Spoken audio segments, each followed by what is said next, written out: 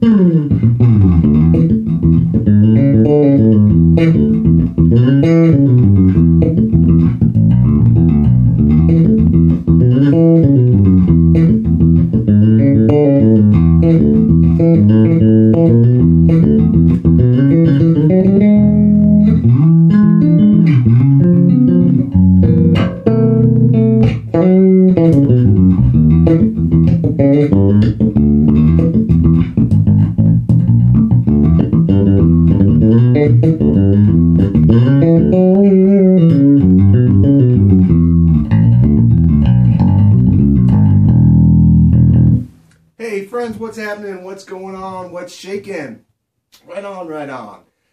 is Andy coming to you again from here at my Daily Funk Club headquarters, and uh, yeah, here we go. It's time for another another demo. Today's going to be fun because I want to show you two things. First of all, the instrument that I'm holding right now, and then we're going to talk about this cabinet right here that just arrived from Bergantino, the HDN 410 Neo Cab. It's a 4 ohm 800 watt cabinet that is an absolute beast, no question about it. First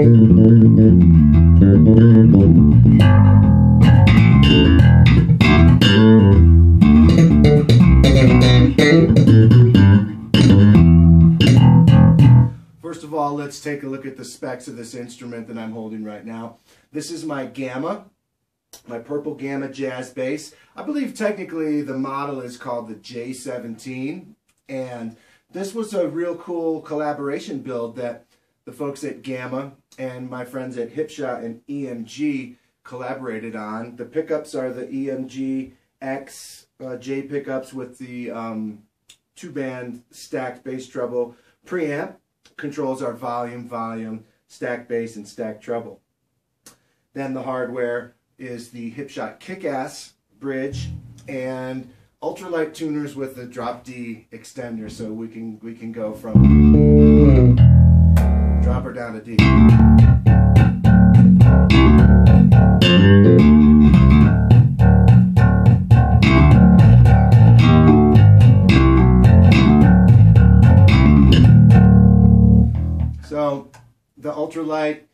in the drop D are really nice. They take a little weight off the headstock, and um, they're the vintage style. You know, they're still the um, the traditional looking Fender style tuners, but they're the ultralights, and um, they reduce weight. And just having that drop D is super cool. The kick-ass model bridge is, you know, um, along the lines of a new and improved badass type with brass saddles and it's a really really um, it's got a big footprint a big low footprint a big low high mass footprint. And um, it's got a nice dense tight sound without any slip lift flop click you know.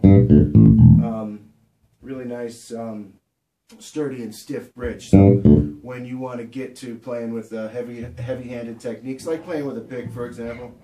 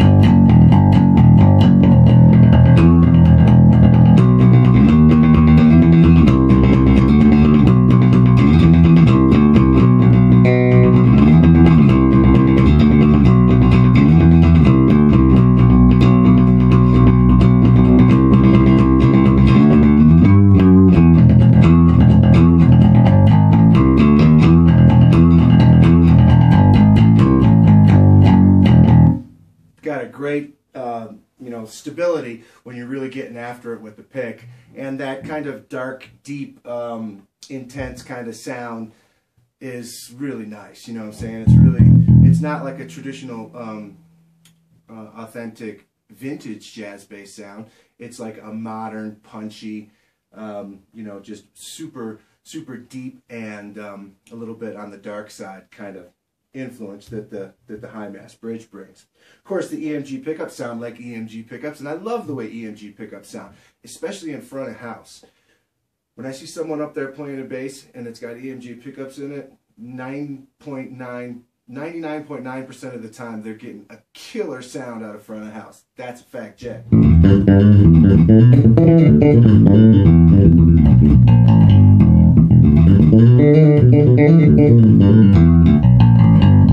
Going back to Gamma, it has a, um, a nice uh, vintage tinted maple neck with a maple fingerboard. It's black bound with uh, black um, block inlays.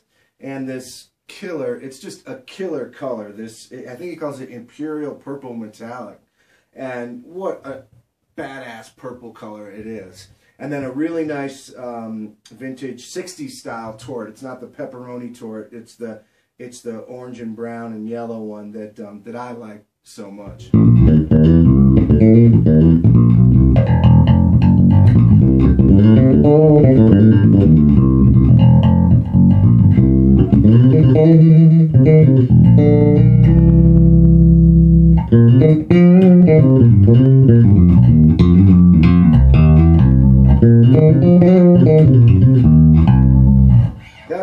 pickups. Here's just the front pickup.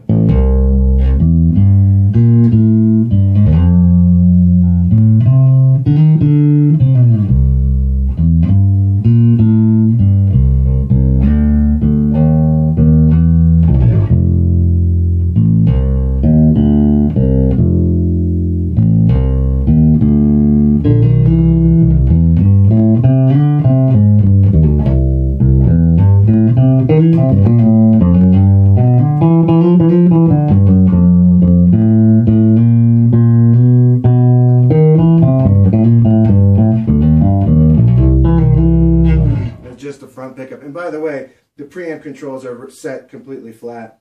And now here's just the back pickup.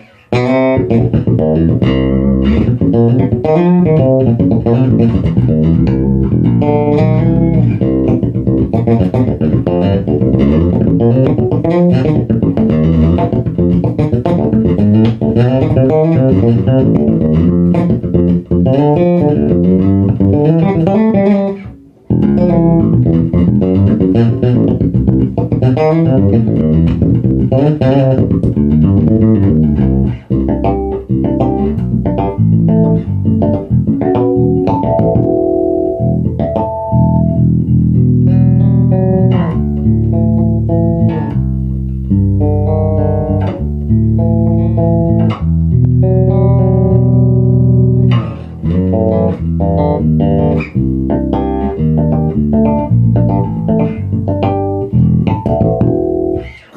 pickup sound. I love EMG pickups. I always have. I started using them in 1984.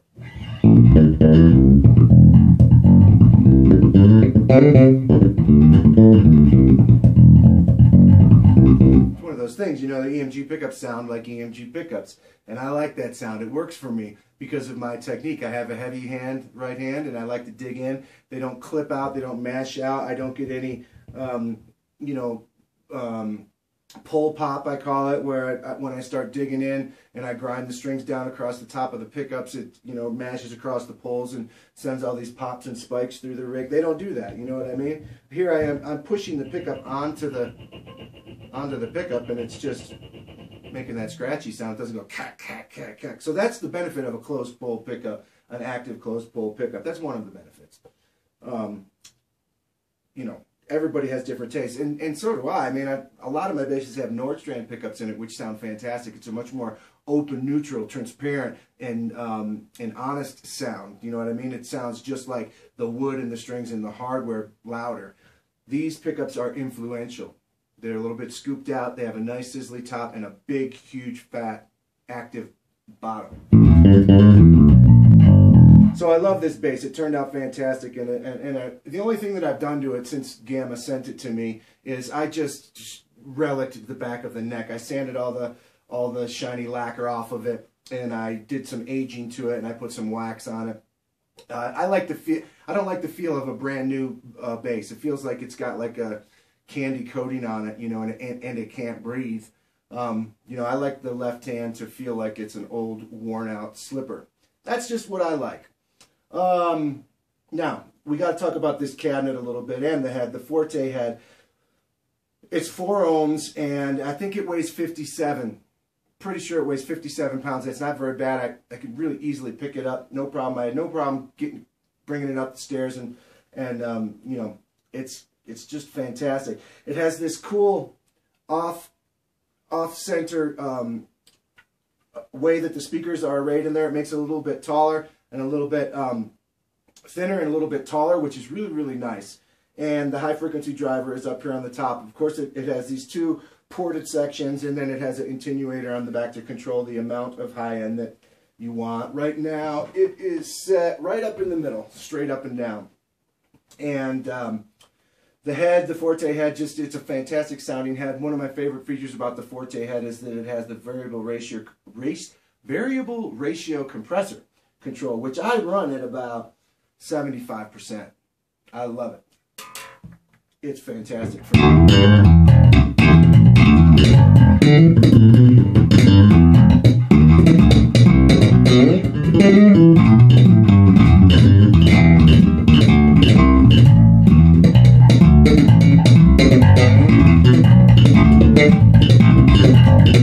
You know when I start slapping and really digging in.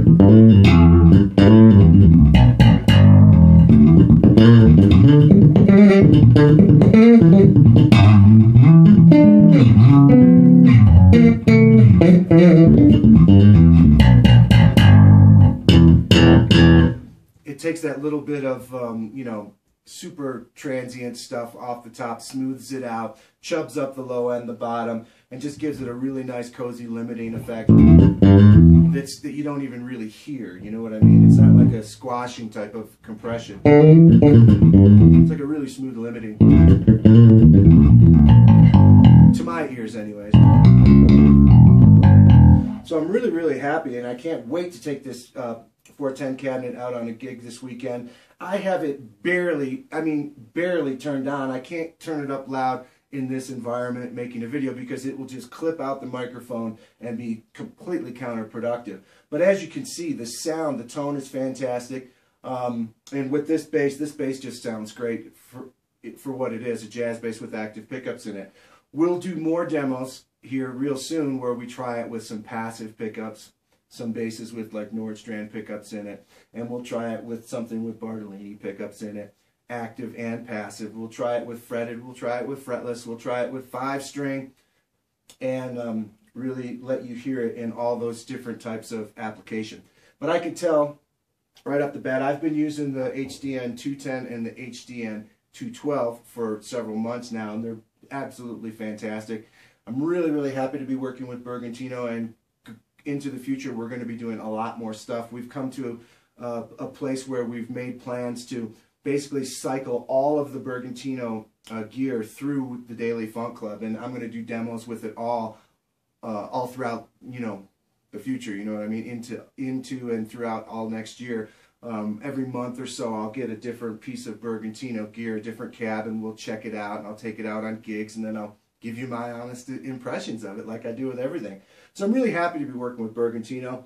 And always I'm really happy to help support um, Gamma because they're a cool up and coming brand. And um, I've seen and witnessed a lot of improvement in their products over the last couple of years. And I'm happy to be friends with Joey and um, and help him in any way I can. This instrument is truly one of my favorites. And it's it and it, you know, I don't even need to say that. You heard it. You know what I'm saying? It is a great bass. And, um, you know, the the paint job is is one of the coolest paint jobs I've ever seen on a bass. So, thanks for watching this video. Thanks for watching all the videos. We'll see you next time. All right, friends. Peace.